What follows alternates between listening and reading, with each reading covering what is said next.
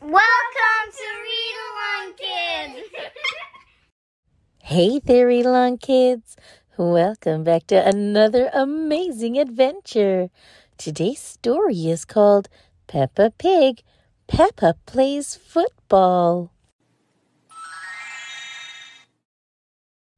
It is a sunny day, and Peppa Pig and Susie Sheep are playing tennis. To you, Susie. Cheers, Peppa, hitting the ball. Now it's Susie's turn. To you, Peppa, she cries, hitting the ball straight over Peppa's head. Oh dear. Wah! George feels a bit left out. Sorry, George, says Peppa. You can't play tennis. We only have two rackets. George can be the ball boy. Cheers, Susie. Being a ball boy is a very important job, George, says Peppa. Peppa and Susie are having lots of fun, but they keep missing the ball. Ball boy, they shout together. Huff, puff, George is not having fun. He keeps running to get the ball, and he is very tired. Hello, everyone, cries Peppa when her friends arrive. We're playing tennis. Can we play too? asks Danny Dog. There aren't enough rackets, replies Susie Sheep. Let's play football then, says Danny Dog. Football, hooray! Everyone cheers. We can play girls against boys, says Peppa. Each team needs a goalkeeper, says Danny Dog.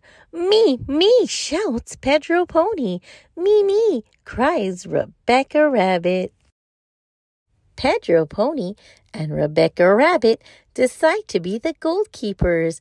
The boys' team will start, says Danny Dog. Richard Rabbit gets the ball and runs very fast.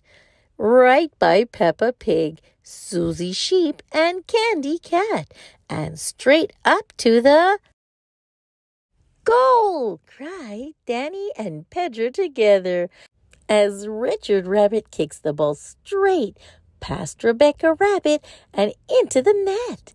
The boy is a winner, cheers Danny Dog.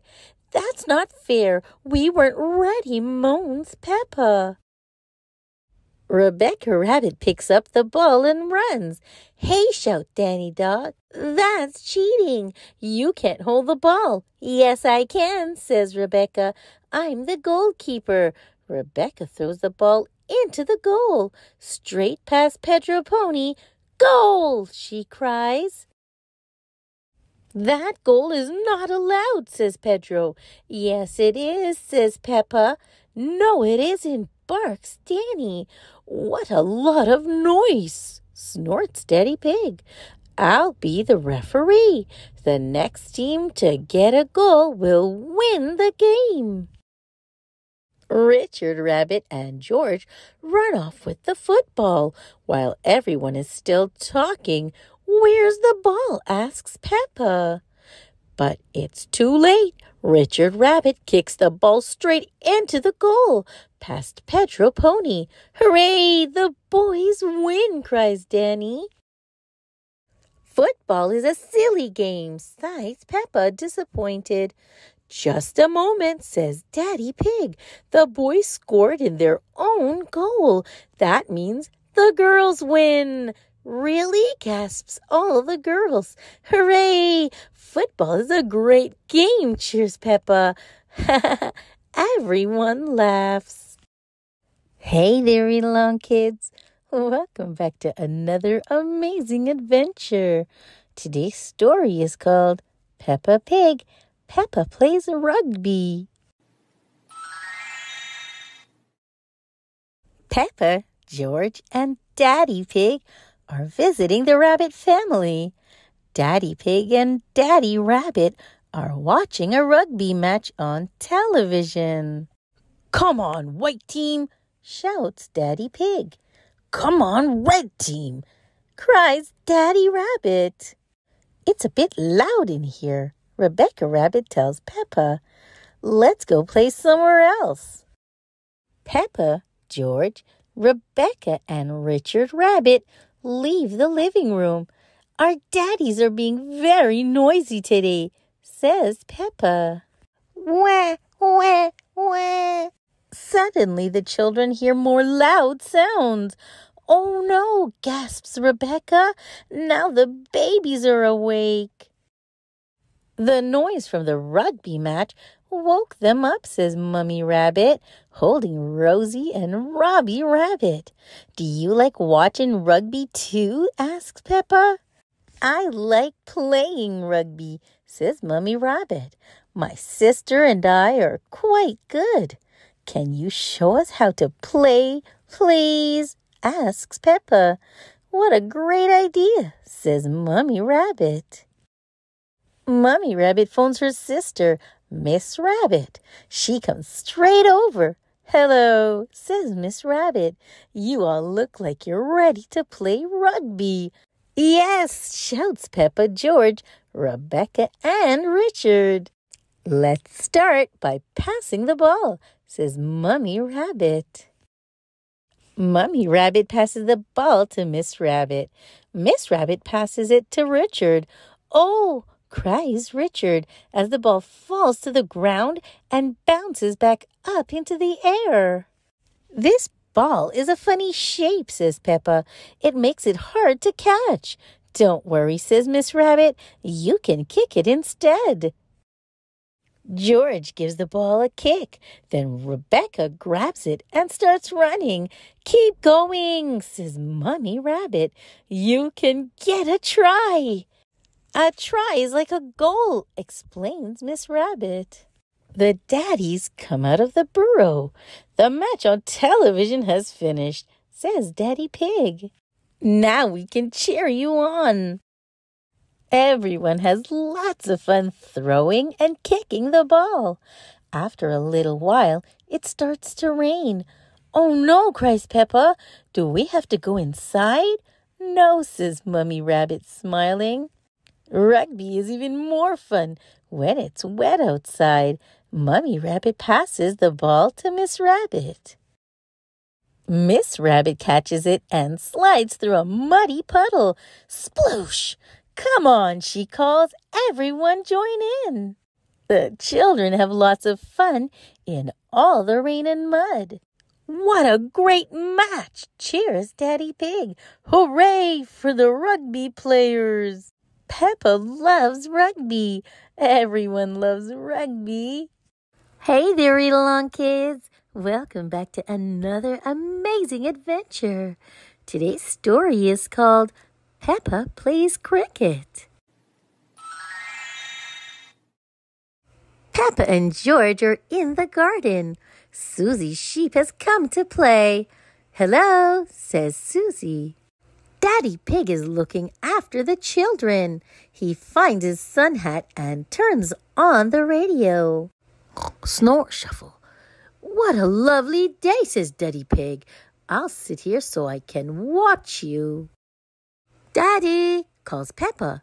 Are you asleep? Huh? sputters Daddy Pig. Of course not. I was listening to the cricket. It must be very boring if it makes you go to sleep, says Susie. Daddy Pig shakes his head. He loves cricket. Daddy Pig fetches a bat, a ball, and some sticks. What are those for? asks Peppa. Cricket, says Daddy Pig. I'm going to show you how to play. Peppa, George, and Susie cheer. Hooray! Daddy Pig pushes three big sticks into the ground, then rests two little sticks on top. This is the wicket, says Daddy Pig. Wicket! laughs George, knocking the sticks over. Daddy Pig puts them back up again.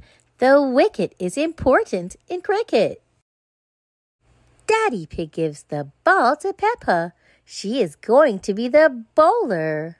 Lift the ball up high, says Daddy Pig. Then run along the grass and let go. Wee, laughs Peppa. Oh, Peppa runs so fast, she forgets to let go. Daddy Pig shows George how to swing the bat.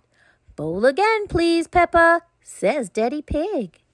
Peppa lifts the ball up high, runs, and lets go. George swings the bat and knocks over the wicket. Wah! Never mind, George, says Daddy Pig. I'll help you swing the bat. George keeps trying with Daddy Pig's help. Ho ho! Bop! He hits the ball. Catch it, Susie, shouts Daddy Pig. Susie jumps up and catches the ball. Mommy Pig calls everyone inside. It is tea time. Cricketers always stop for tea, says Daddy Pig. And sandwiches and cake. Cake! Cheers, George. George loves cricket. Everyone loves cricket. Hey there, Read Along kids. Welcome back to another amazing adventure. Today's story is called Peppa Plays Basketball. It's a lovely sunny day. Peppa and her friends are in the playground. Children, says Madame Gazelle, today we have a special person coming to teach you basketball. Ooh, ooh. Daddy Pig walks into the playground. Hello, everyone. Daddy, snorts Peppa. It isn't home time yet. We've got a special teacher coming. That's me, says Daddy Pig. I'm the coach, explains Daddy Pig. A basketball teacher is called a coach. Daddy Pig spins the ball on his finger. That's clever, Daddy. Peppa, says Daddy Pig, call me Coach. Daddy Coach blows his whistle. In basketball, you bounce the ball with your hands, he says. Everyone tries. The children practice bouncing the ball up and down the playground. Throw the ball through the hoop, shouts Daddy Coach. Oops, George throws the ball the wrong way. He still needs a bit more training. Daddy Coach decides it is time to play a game. Split into two teams, he says. The girls are in one team and the boys are in the other. It's not fair, says Pedro Pony. We've got little ones on our team. Don't worry, says Danny Dog. The boys' team will still win. The game starts. Emily catches the ball with her trunk. She is very good at reaching up high with her trunk. That's not fair, says Peppa. Shh, whispers Susie Sheep. She's on our team. Oh, yes, it is fair, decides Peppa. We want Emily on our team, shouts Pedro Pony.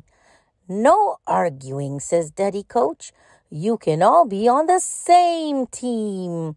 The children get into one big team. But who will we play? asks Peppa. Um, says Daddy Coach. Well? The parents arrive to take the children home. I know, snorts Daddy Coach.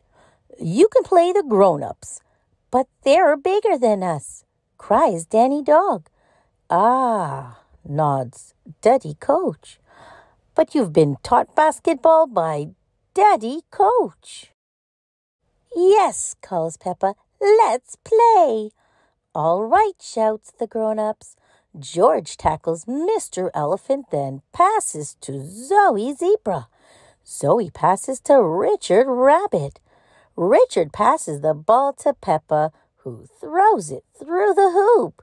Yippee! Boing! The final whistle blows.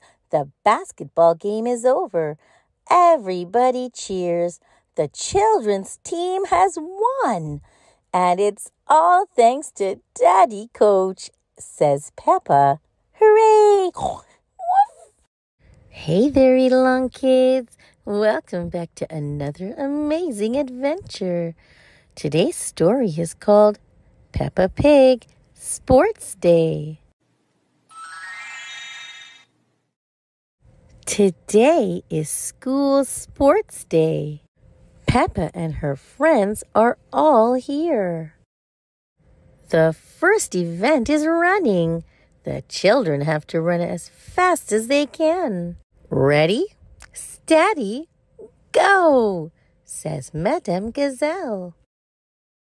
Susie and Peppa are chatting about who can run the fastest. Rebecca Rabbit is in the lead. Peppa and Susie are right at the back. Rebecca Rabbit wins the race. Hooray! Everyone cheers. Peppa and Susie are last. It's not the winning that matters, Daddy Pig reminds them, but the taking part. The next event is the long jump, says Madame Gazelle. George and Richard Rabbit have to run and then jump as far as they can. Whoever jumps the furthest is the winner. Ready, steady, go! Oh dear, Richard Rabbit has jumped further than George. Hooray! shouts all his friends. George is not happy. Remember, George, says Peppa, it's not the winning that matters, but the taking part. The next race is the relay. Daddy Pig is in the lead. He hands the baton to Peppa. Thank you, Daddy. You did very well. Now it's my turn to.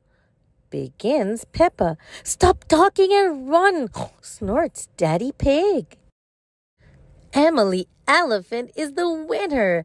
Everyone cheers. Hooray! Peppa comes last. She is not feeling happy. It's the last event of the day. The tug of war. Boys against girls. The girls will win, snorts Peppa. Woof! No, they won't, says Danny. Everyone is pulling so hard. The rope breaks. The result is a draw. Both teams win, says Madame Gazelle. Everybody cheers. Hooray! I love school sports day, snorts Peppa, especially when I win a prize. The end. Thanks for listening, Read Along Kids. Remember to like, share, and subscribe for more great read along fun. Until next time, bye bye.